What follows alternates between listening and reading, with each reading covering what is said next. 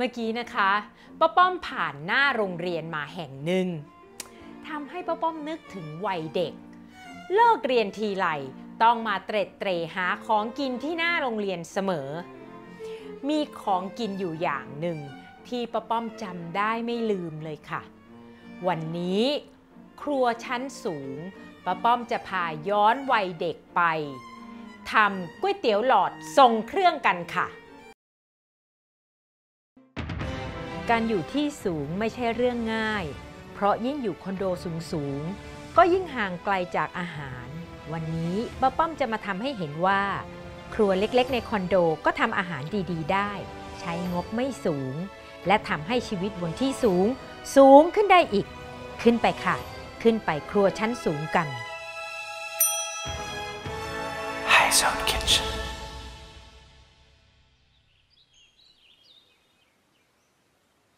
อย่างแรกเลย นี่ หมูสามชั้น ของลุงก๋วยเตี๋ยวหลอดเนี่ย อย่าหวังว่าจะเห็นหมูสามชั้น ไก่เกยไม่มีเลยค่ะ คุณลุงก๋วยเตี๋ยวหลอดเนี่ยเน้นเต้าหู้ อย่างแรกที่เราจะทำก็คือป้าป้อมจะต้มหมูสามชั้น ให้พอจับตัวเราจะได้เอามาหั่นได้ง่าย ๆนะคะป้าป้อมตั้งน้ำร้อนรอไว้แล้ว ใส่หมูสามชั้นลงไปค่ะ เพื่อให้หมูสามชั้นมีรสชาตินะคะป้าป้อมก็จะใส่เกลือลงไปเล็กน้อย ระหว่างรอหมูสามชั้น จับตัวแข็งนะคะป้าป้อมก็จะมาดูเครื่องปรุงอื่นๆ เครื่องปรุงอื่นก็คือ ปีกไก่บน หรือไก่ขาเล็ก เชื่อไหมว่าเด็กๆต้องชอบแน่เลย นึกว่าตัวเองได้ถือขาไก่ อันจิ๋วๆ ต่อมา เห็ดหอมค่ะป้าป้อมเอาเห็ดหอมไปแช่น้ำจนนิ่มแล้ว เราจะมาหั่นเห็ดหอมรอค่ะ เอาก้านแข็งๆออกไปก่อนนะคะ เราหั่นเห็ดหอมให้เป็นขนาดพอคำต่อไปนะคะ เราจะหั่นเต้าหู้ เต้าหู้ที่ป้าป้อมใช้ในวันนี้ เป็นเต้าหู้แข็งค่ะ จับดูก็รู้นะคะ เป็นเต้าหู้แข็ง ถ้าเป็นเต้าหู้อ่อนป้าป้อมถืออย่างนี้ไม่ได้หรอกค่ะ นี่นะคะ บางตลาดสีเหลือง บางตลาดสีขาว เอาให้แน่ใจว่าเป็นเต้าหู้แข็งค่ะสำหรับเต้าหู้แข็งนะคะป้าป้อมหั่นให้หนาหน่อย มันจะได้ไม่แตกไม่แหลกลงไปกับน้ำซุปค่ะ จะว่าไปก๋วยเตี๋ยวหลอดราดเต้าหู้นี่มันก็อร่อยนะคะ อย่าไปว่าลุงก๋วยเตี๋ยวหลอดแกเลย พวกเราเองนั่นแหละ ที่ยุ่งใส่นู่นนี่ให้มันหรูหราขึ้นมาเอง ต่อไปค่ะ ไข่นกกระทาต้ม เดี๋ยวนี้ชีวิตง่ายมากเลยค่ะ ไข่นกกระทาต้ม แช่ในน้ำมีขายเรียบร้อยแล้ว ไม่ต้องมาต้มเอง ไม่ต้องมานั่งปอกเองให้เสียเวลา ตอนนี้ป้าป้อมคิดว่า หมูสามชั้นของป้าป้อม เซตตัวคงรูป หั่นได้ง่ายแล้ว เอาขึ้นมาค่ะ ไม่ต้องห่วงนะคะ ว่าเขาจะสุกหรืออยังไม่สุก นี่ค่ะป้าป้อมเอาออกเลยนะ เราก็จะหั่นตามขวาง อย่าให้หนานักนะคะ เพราะถ้าหนาเนี่ยใช้เวลาในการเคี่ยวเยอะค่ะป้าป้อมอยากได้ทรงที่มันเป็นเส้นๆแบบนี้ค่ะป้าป้อมจะใส่หมูสามชั้นที่หั่นไว้ลงไปค่ะ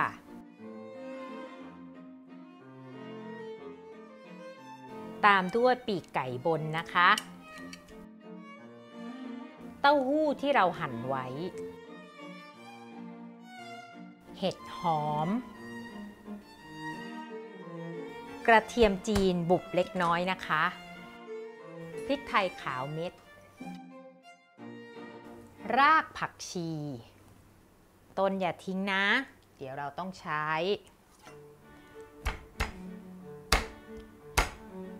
บุบพอแตกค่ะ ใส่ลงไปก่อน และเครื่องที่ให้กลิ่นหอมของพะโล้อ่อนๆนั่นก็คือ โปยกัก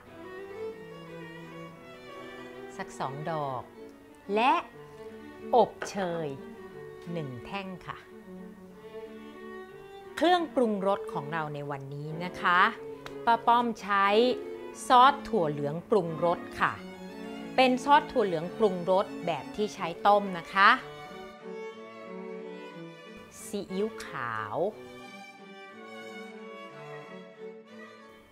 ซีอิ๊วดำ แค่นี้ก่อนนะคะ และที่สำคัญ เมื่อกี้เราต้มหมูใช่ไหมคะป้าป้อมไม่ได้ทิ้งน้ำต้มหมูนะคะ น้ำต้มหมูของป้าป้อมอยู่นี่ค่ะ เทน้ำต้มหมูลงไป ให้พอท่วมนำขึ้นตั้งไฟแรงค่ะ อีกอย่างหนึ่งที่ป้าป้อมจะมาใส่ทีหลัง ก็คือ ไข่นกกระทา ที่ต้มแล้วนะคะป้าป้อมไม่อยากให้เครื่องปรุงอย่างอื่น ทับไข่นกกระทาเสียหายค่ะ ไม่ต้องห่วงเรื่องน้ำซอสและรสชาติใด ๆนะคะ เดี๋ยวเราต้มไปสักพักหนึ่งใกล้จะได้ที่ค่อยมาชิมกันอีกทีแต่ที่สำคัญอย่าพลีผลามใส่น้ำตาลหรือรสหวานลงไปนะคะ มิฉะนั้นไก่และหมูจะไม่เปื่อยค่ะ ระหว่างนี้เมื่อเราต้มไฟแรงจนเดือด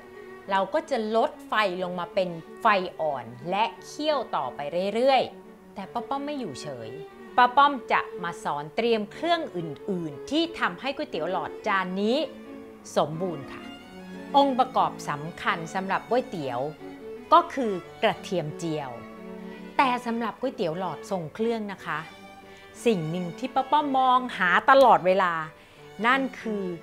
กากหมูที่ลุงเขาเอามาเจียวกระเทียม ดังนั้นป้าป้อมก็เลยใช้มันหมูแข็งมาหั่นให้เล็กลงค่ะ การหั่นมันหมู ให้หั่นเล็กกว่าที่เราเห็นตอนที่มันเป็นกากหมูนะคะ เพราะว่ากากหมูนั่นคือ มันหมูที่น้ำมันโดนรีดออกมาแล้ว ชิ้นจะเหลือเล็กแค่นั้น ดังนั้นที่ป้าป้อมหั่นเนี่ยจริงๆแล้วก็ออกมาเล็กเลยค่ะ แต่ถ้าเราหั่นเล็กนะคะ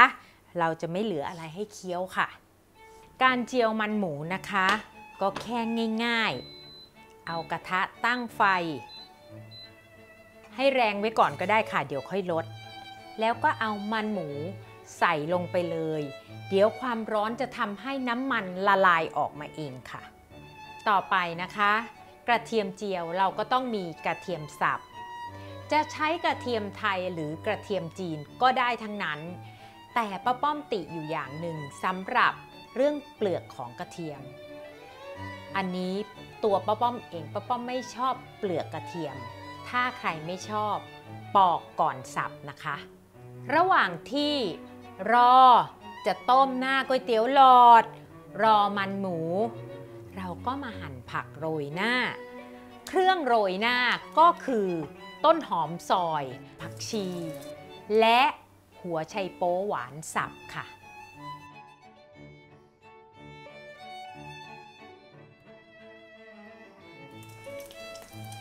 ส่วนผักชี เมื่อกี้เราใช้รากใช่ไหมคะ ตอนนี้แหละค่ะ เราใช้ใบมันได้ ส่วนหัวไชโป๊หวานสับนะคะ มีให้เลือกทั้งแบบสับมาแล้ว เป็นเส้นหรือเป็นหัว เอามาสับเองก็ได้ค่ะ เอามาล้างทำความสะอาดและบีบให้แห้งค่ะ เห็นไหมคะ เวลาเหลือเฟือ ดังนั้นถ้าว่าง ก็ยืนเด็ดหางถั่วงอกทิ้งไปพลางๆก็ได้ เพราะว่าถั่วงอกที่เด็ดแล้ว มันจะดูน่ารับประทานมากเลยค่ะ ส่วนเส้นก๋วยเตี๋ยวหลอดนะคะ นี่ก๋วยเตี๋ยวหลอดทรงเครื่อง จะเส้นก๋วยเตี๋ยวธรรมดาได้ยังไง เด็กๆ รู้จักไหมคะ เส้นกุ้งแห้งค่ะ เส้นกุ้งแห้งคืออะไรเหรอคะ คือเส้นก๋วยเตี๋ยว ที่เขาใส่กุ้งแห้งเข้าไปข้างในอย่างนี้ค่ะป้าป้อมได้มาแบบยังไม่ได้หั่นป้าป้อมว่าเรามาหั่นเตรียมกันไว้เลยไหมคะ นี่ค่ะ พร้อมจะเป็นเส้นก๋วยเตี๋ยวหลอดของเราแล้ว เมื่อกี้มันหมูของเรายังชิ้นโตๆสีขาวๆอยู่เลย ตอนนี้เริ่มเกรียมแล้วค่ะป้าป้อมอยากให้เกรียมอีกนิดนึงนะคะ กากหมูของป้าป้อมเริ่มออกสีเหลืองทองแล้วนะคะป้าป้อมจะเอามันขึ้นมาพักไว้ค่ะ ต้องอดใจมากเลยนะคะ ที่จะไม่หยิบชิม จากนั้นนะคะป้าป้อมจะตักน้ำมัน ในกระทะออกเก็บไว้ใช้วันหลังค่ะป้าป้อมจะใช้แค่ปริมาณที่จะเจียวกระเทียมเท่านั้น การเจียวกระเทียมนะคะ ลดลงไปที่ไฟค่อนข้างอ่อนหน่อยนึงค่ะ เพราะว่าถ้าไฟแรงกระเทียมจะไหม้ก่อนนะคะ ป้าป้อมพยายามเลี้ยงน้ำมันไม่ให้ร้อนเกินไป ยกออกจากเตาบ้าง วางลงไปบนเตาบ้าง แต่เทคนิคหนึ่งก็คือ กระเทียม ให้เอาออกจากกระทะ ก่อนที่จะถึงจุดเหลืองกรอบค่ะ เพราะเขาจะมาสุกต่อในน้ำมันร้อนๆค่ะ เอาละค่ะป้าป้อมจะเทใส่ชามแล้ว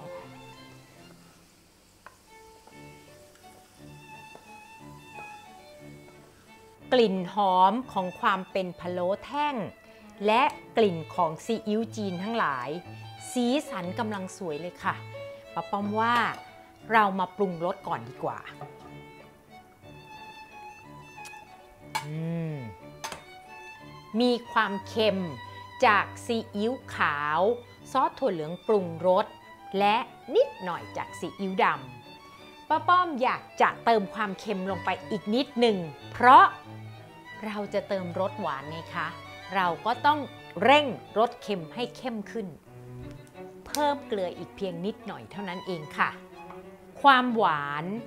สามารถใช้น้ำตาลปี๊บหรือน้ำตาลทรายแดงก็ได้ค่ะ สีก็สวย กลิ่นก็หอม และรสชาติก็อร่อยด้วยค่ะ อืม ถูกใจป้าป้อมแล้ว ชักอยากกินแล้วสิคะ เรามานึ่งเส้นกับถั่วงอกกันเลยดีกว่าค่ะ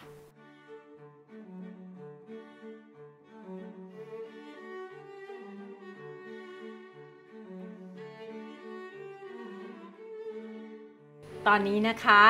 เส้นกับถั่วงอกของเราได้ที่แล้วเรามาจัดลงจานกันเลยค่ะ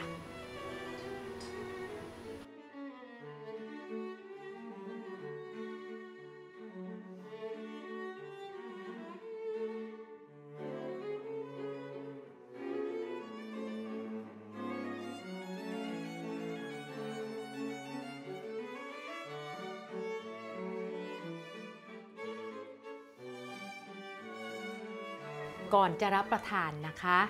ป้าป้อม ขอเติมพริกไทยป่นลงไปนิดนึง แต่สำหรับเด็กๆไม่ต้องก็ได้ค่ะ ถ้าใครชอบรสเปรี้ยวก็สามารถเติมน้ำส้มพริกตำโดยป้าป้อม ใช้พริกชี้ฟ้าเหลืองตำกับกระเทียม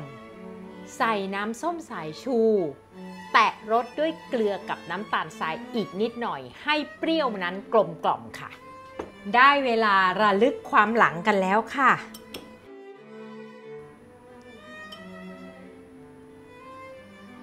อร่อยจริง ๆ เลยค่ะ เค็มหวานตามที่เราปรุง แอบเปรี้ยวด้วยน้ำส้มพริกตำใครชอบรสเค็มรสหวานเพิ่ม สามารถ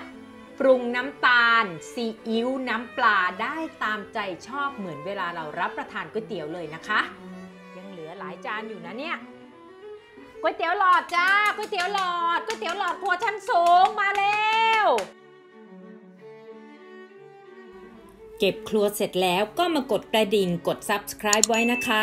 เพราะว่าครัวชั้นสูงยังมีอีกหลายเมนู จะได้ไม่พลาดกันค่ะ